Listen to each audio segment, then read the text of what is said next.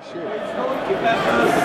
you think the last time we played Peterborough here was? God knows. I don't remember it. I don't remember it. What was that? Well, when it was either in the second or third division, the old Peter, in- interception now. Peterborough coming forward, a great chance for them. Oh, it's in the post! And a follow up!